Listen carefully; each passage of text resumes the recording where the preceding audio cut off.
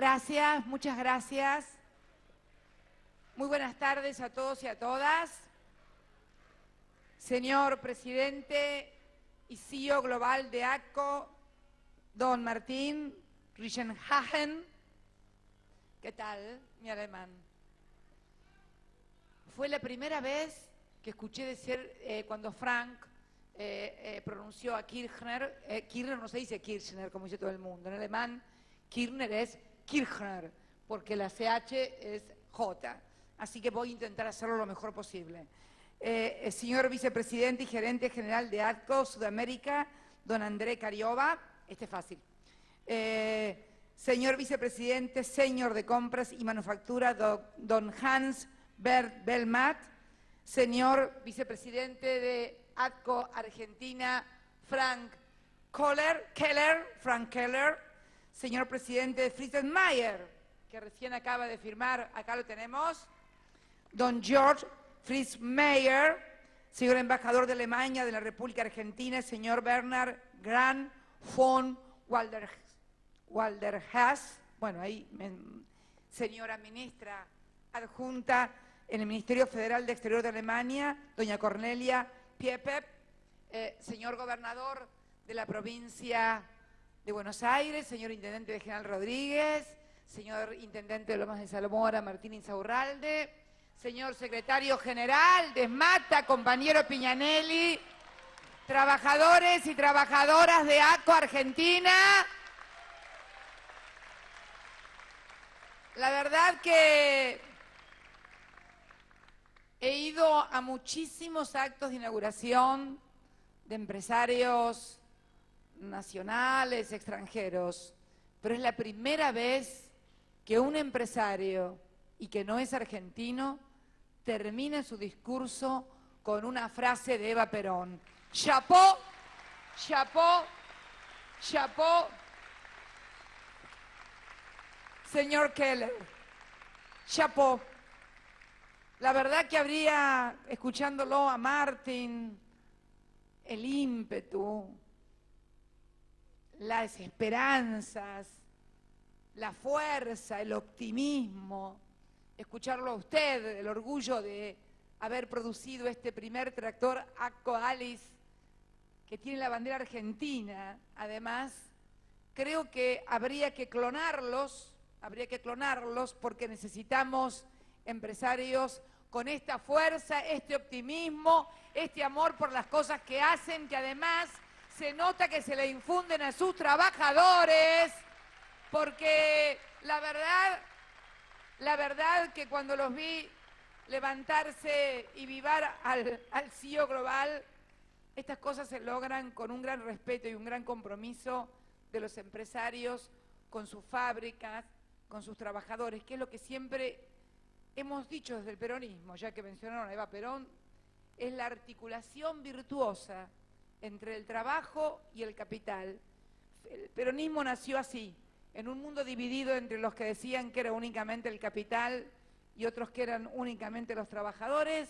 Nosotros fuimos la tercera posición, los que decíamos los empresarios y los trabajadores. Y así comenzó la historia de una Argentina industrial, de una Argentina donde se industrializaba. Y la verdad que esta empresa de capitales eh, de origen norteamericano, que es una de las líderes del mundo en materia agrícola, hemos logrado con una política industrial, con una política también de administración de comercio, con una política también de persuasión y convencimiento de los empresarios de que invirtieran acá, de estar hoy produciendo un tractor que tiene el 80% de componentes nacionales y haberse firmado hoy, además, este acuerdo con una empresa líder de origen alemán,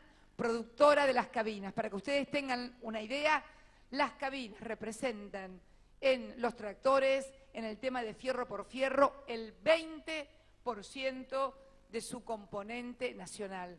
O sea que prácticamente cuando podamos ponerle también las cabinas de origen nacional, estaremos casi, casi alcanzando el 100% de proveedores nacionales, de piezas locales, de un tractor absolutamente nacional. Yo creo que esto, esto es muy importante, es una inversión muy importante.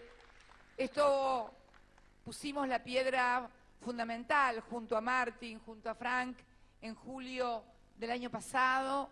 Y bueno, aquí estamos junto a nuevos 360 trabajadores que han sido preparados, entrenados y también a un montón de proveedores locales, los famosos autopartistas, que son los que realmente van a permitir que esto siga adelante. Yo estoy muy, muy feliz. Quiero darles algunas cifras de lo que era la producción. Recién en el video veíamos el Plan 2020 agrícola de producir alimentos para 400 millones de personas. Como bien decía el video, son 10 argentinas. Para esto necesitamos, yo siempre le decía a Débora, Débora, el tractor en realidad no es un insumo de capital, no es un bien de capital. En una Argentina con la potencialidad agroalimentaria es casi capital de trabajo. Tenemos que producir el tractor acá. Y la verdad que haber logrado esto, y si además logramos, y en esto voy a estar muy empeñada, en un desarrollo de logística, de transporte, porque el tractor trabaja en el campo, pero es necesario diseñar la logística de transporte del campo a los centros donde se elabora el producto o donde se exporta, mejorar esa logística para aún profundizar más la gran competitividad que tiene la República Argentina en materia agroalimentaria. Y lo vamos a hacer como hemos hecho tantas otras cosas que parecían imposibles.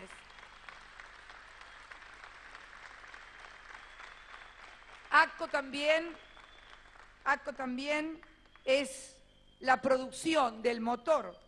En la Argentina, esta planta de tractores que ocupa un predio de 10 hectáreas en General Rodríguez, capacidad para producir 3.500 unidades por año, 360 nuevos puestos de trabajo y también la radicación del eh, grupo alemán Fries que ya, ya anunciaron y firmaron el compromiso, el memorándum de entendimiento para hacer esas cabinas. Pero quiero, quiero decirles lo que era antes, antes de que empezara esta política industrialista que Néstor empezó con tanto empeño, con tanta convicción, allá por el año 2003, en cosechadoras. En el año 2003 las unidades nacionales vendidas solamente alcanzaban al 16%, el 84% en materia de cosechadoras era importado.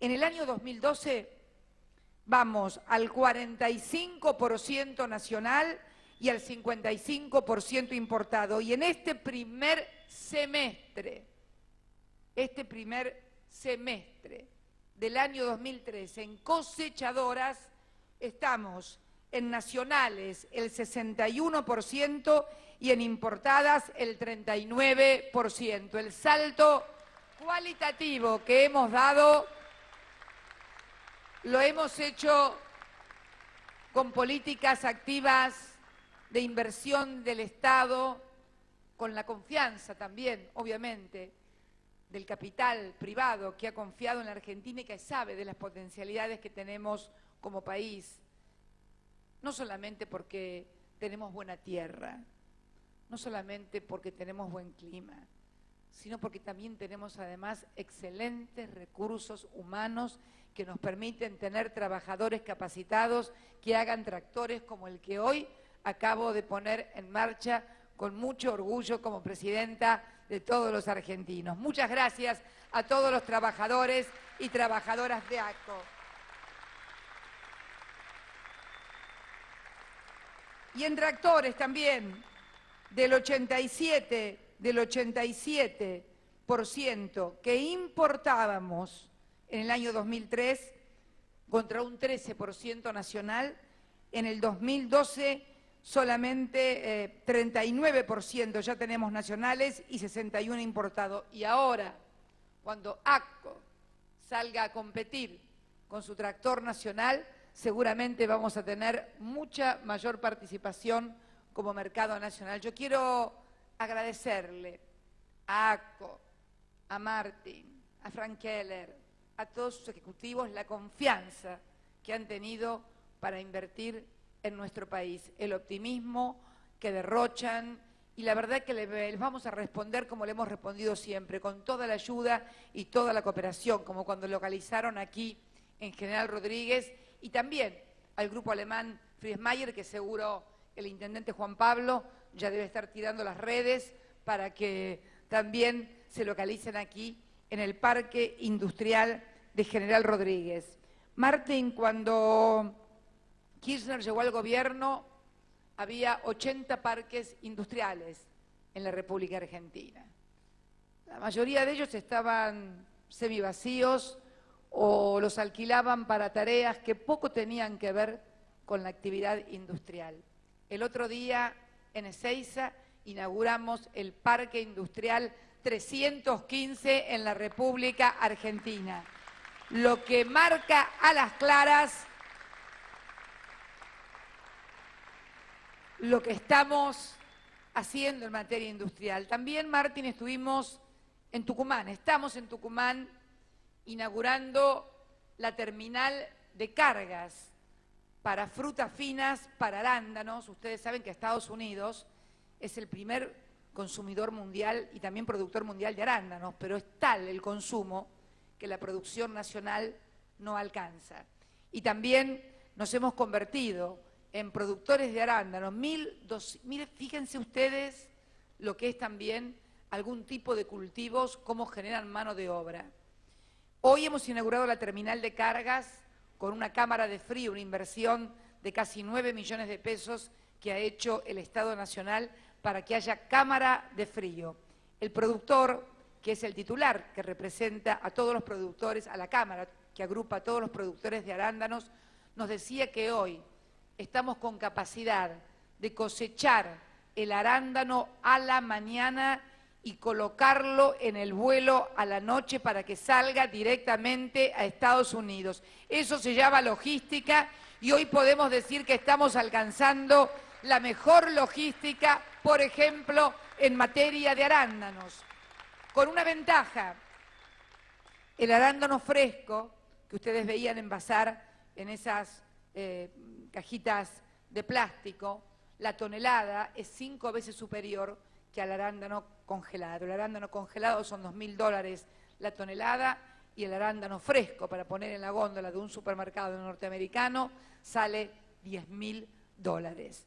Eh, ustedes saben que ellos consumen mucho arándano como dulce, como salsas y además tenemos una ventaja, que cuando ellos no pueden producir porque están en temporada baja, nosotros estamos en temporada alta, con lo cual tenemos contratemporada y lo podemos colocar en 24 horas como un producto que además, ¿por qué tiene tanta generación de mano de obra? Fíjense, 1.200 hectáreas, 1.200 hectáreas generan 30.000 puestos de trabajo.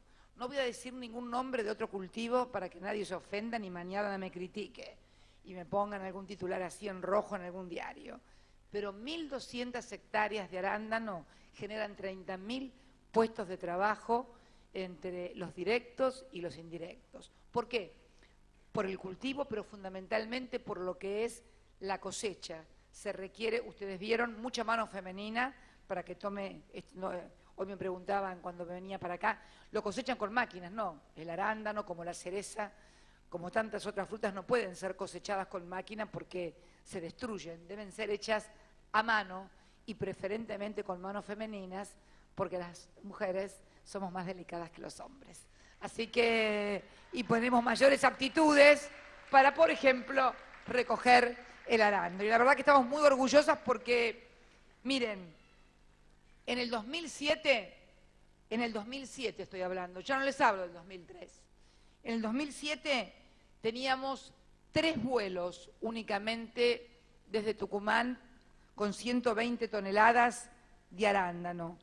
En el año 2012 tuvimos 71 vuelos con 3.021 toneladas. Y me estaban hablando ya de 80 vuelos para producir y transportar 8.000 toneladas de arándano desde la República Argentina. La verdad que estamos muy orgullosos y también, como dice Martín, vamos por más tractores y más arándano. Qué bueno, qué buena falta nos hacen a todos.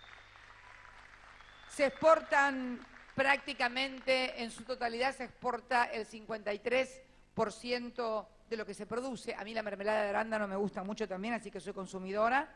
Y las exportaciones en Tucumán fueron de casi 54 millones de dólares. Bueno, la terminal de carga es de 1.640 metros cuadrados, está compuesta por una cámara de frío, precámaras, oficinas, en fin, logística, que es una de las claves. La otra cuestión que también inauguramos, Martín, hoy en Marcos Paz, Marcos Paz es una localidad muy importante, decía pequeña, el intendente es humilde, pero no es pequeña. Podrá ser pequeña porque tal vez no tenga la, la densidad demográfica que tiene Lomas o que tiene La Matanza, pero tiene mucha también vitalidad económica, hay mucha producción. Me tocó inaugurar a mí allí fábricas de polvo de huevo que son utilizadas en industria, industria alimenticia, que se exportan, en fin. Así que hoy estamos inaugurando algo muy importante, que es lo que nosotros denominamos el tercer paso del saneamiento ambiental.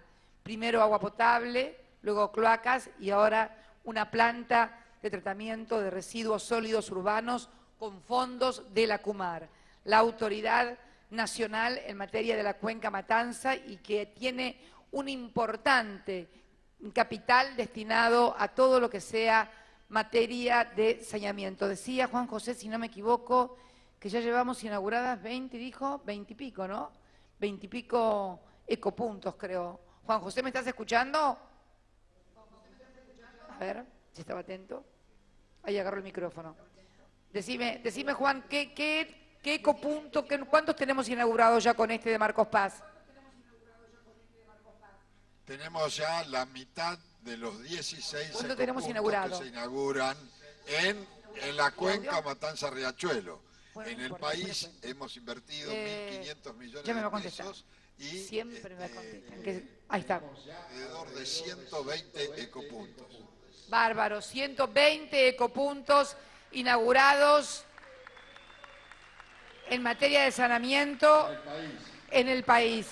Así es, en el país, porque él además de autoridad de Acumar, obviamente es secretario de Medio Ambiente de la Nación, que también tuvimos una importante responsabilidad precisamente el otro día en Córdoba, cuando tuvimos la tragedia de los incendios que recurrimos prontamente, bueno, y pudimos ayudar a muchísimas localidades que habían sido afectadas. Y finalmente, y finalmente en la ciudad de Buenos Aires, en la ciudad de Buenos Aires, en lo que decía Daniel Filmus, es una institución para la ciudad de Buenos Aires, que es el Hospital Francés, de la misma manera que el Hospital Español es una institución en La Plata y lo estamos reconstruyendo después de la inundación, también estamos reconstruyendo el Hospital Francés junto a sus trabajadores y el PAMI, porque ustedes saben que quebró cuando era administrado por privados, y esta obra, que es un, lugar muy emblemático de la ciudad de Buenos Aires, la estamos recuperando y hoy estamos con una inversión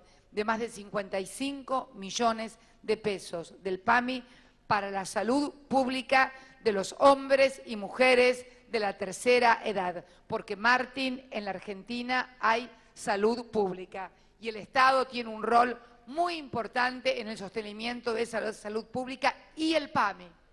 Y el PAMI le da total cobertura a nuestros jubilados. Quiero comentarte que la cobertura previsional en la Argentina es la más alta de Latinoamérica.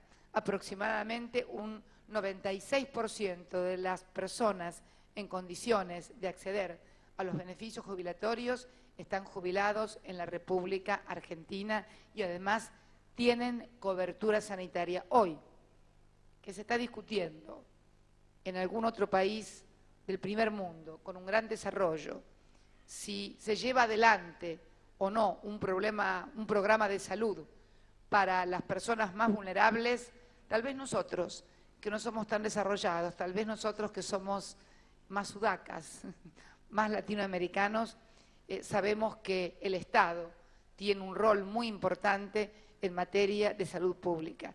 Si algo nos enseñó Eva Perón a los que somos peronistas fue eso, que la salud pública es como tal una obligación del Estado. Así que bueno, ahí estamos también, ahí también estamos en el hospital, en el ex hospital francés, junto al PAMI, reconstruyendo con cinco quirófanos modernos, se veían las imágenes muy modernas. Y la verdad que cuando uno ve todo esto, estar en este, yo siempre digo que para mí no hay lugar más maravilloso que estar inaugurando una fábrica, estamos generando trabajo o inaugurando una escuela, estamos dando educación o inaugurando un laboratorio, precisamente este lugar que estamos hoy rehabilitando del ex hospital francés, le hemos puesto el nombre de doctor César Milstein, que fue nuestro tercer premio Nobel en ciencias duras y que también es un reconocimiento porque hemos hecho, también Martín y a todos nuestros invitados de hoy, la Argentina ha hecho una gran apuesta por la ciencia y la tecnología. Y no es de que somos apasionados por la ciencia porque sí, sino porque sabemos que la ciencia y la tecnología y Alemania y Estados Unidos en eso son líderes en materia mundial de desarrollo científico y tecnológico allí, en el desarrollo científico y tecnológico reside el gran valor agregado que ha permitido que se consoliden como primeras potencias exportadoras y productoras al mundo y es lo que queremos hacer nosotros con nuestra Argentina.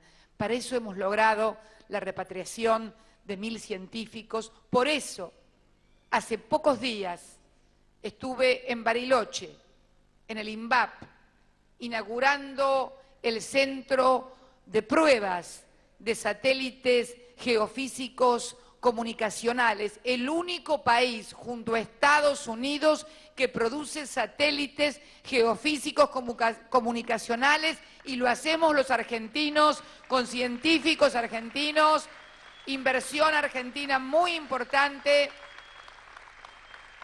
el banco de pruebas que no mereció grandes espacios en los medios de comunicación, pero que saben qué, está ahí, en Bariloche, como están los cientos y cientos de jóvenes científicos. Nunca vi tantos chicos y tantas chicas ingenieras en sistema, ingenieras físicas, químicas, tanta gente preparada, tan joven, porque también teníamos un problema. No solamente se había dejado de lado la ciencia y la tecnología, sino que producto de que no había recursos para pagar buenos sueldos, para incentivar, los jóvenes se iban afuera o estudiaban otras cosas. Ahora los jóvenes vuelven y también en las nuevas universidades que hemos creado y que forman parte de nuestro sistema interuniversitario nacional con 48 universidades públicas, nacionales y gratuitas, se preparan los científicos que van a desarrollar esa Argentina moderna que queremos dejarle a nuestros hijos y a nuestros nietos. Así que yo estoy muy contenta hoy de estar aquí en General Rodríguez junto a esta importantísima impresión, junto a los trabajadores y junto y trabajadoras y junto a todos los hombres y mujeres de nuestro país e inversores extranjeros que creen en la Argentina, que tienen confianza en ella en sus autoridades, pero fundamentalmente en su pueblo, porque lo único perdurable es eso, el pueblo, en definitiva. A él nos debemos y esta fábrica es para ese pueblo, para que ese pueblo no vuelva a tener nunca más desocupación, para que ese pueblo no tenga nunca más que ver a sus hijos irse del país por falta de oportunidades, para que ese pueblo vuelva a estar orgulloso de ser argentino. No hay nación no hay país que pueda desarrollarse si no hay una autoestima profunda de cada uno de sus ciudadanos. Y mi mejor esperanza y yo creo que el logro más grande que podemos haber dejado Néstor y yo a los argentinos es haber recuperado el orgullo de vivir en este país y de haber nacido en este país. Muchas gracias a todos por todos y los abrazo con todo mi corazón. Muchas gracias. Con las palabras